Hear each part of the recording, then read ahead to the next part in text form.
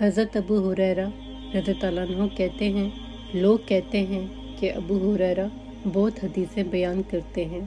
और मैं कहता हूँ कि कुरान में दो आयतें ना होती तो मैं कोई हदीस बयान ना करता। फिर ये आयत पढ़ी, जिसका तर्जमा ये है कि जो लोग अल्लाह की नाजल की हुई दलीलों और आयतों को छुपाते हैं, आखिर आयत रहीम तक। वाक़ ये है कि हमारे महाजरीन भाई तो बाज़ार की ख़रीदो फ़रोख्त में लगे रहते थे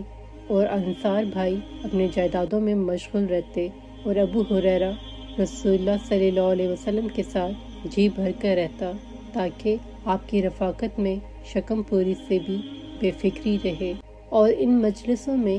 हाजिर रहता, जिन मजलिसों में दूसरे हाजिर न होते और वो बातें महफूज रखता जो दूसरे महफूज नहीं रख सकते थे।